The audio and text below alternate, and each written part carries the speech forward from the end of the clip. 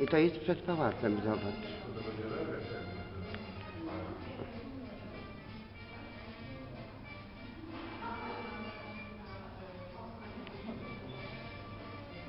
Piękne.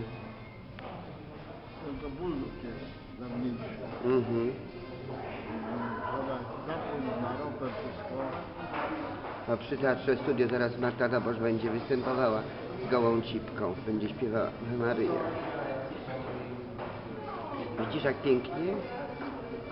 I to tylko sfilmować. Żadnych umiejętności nie trzeba.